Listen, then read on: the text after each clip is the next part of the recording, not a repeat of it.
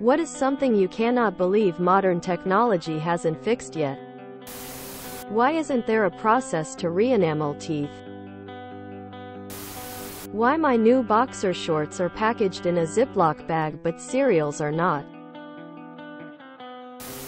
I wear a hearing aid.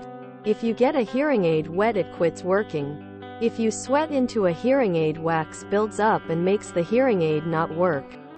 If I take a shower I have to wait at least 30 minutes for my ear canal to dry before being able to hear. Without potentially breaking my hearing aid.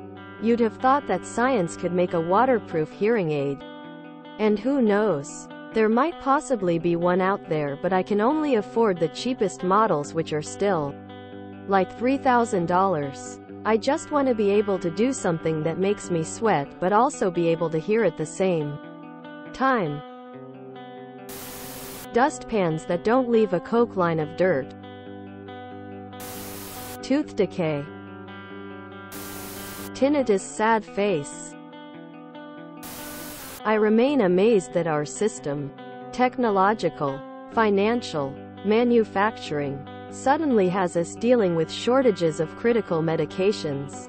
We should be way past this point. Nerve damage. The reverse microwave. To allow me to chill a beer from room temperature to fridge temperature in under 2 minutes. Spinal cord damage, paralysis. Lower back pain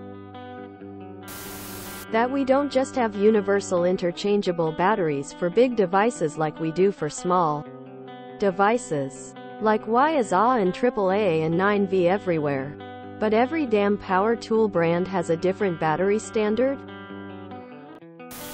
Getting wireless inkjet printers to actually work wirelessly. Bacon packaging. We can do open heart surgeries organ transplants and have some genic therapies. But we still cannot do anything really effective against skin scars. Spam emails should be able to have sparkling white, healthy teeth just by swishing something around in your mouth a few seconds. Effective treatments to stop the progression of dementia. Insomnia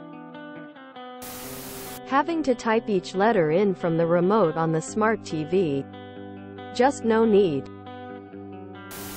If you enjoyed this video, please check out our playlists full of similar content. Epicaricast is like doom scrolling for your ears. Please like, share, and subscribe.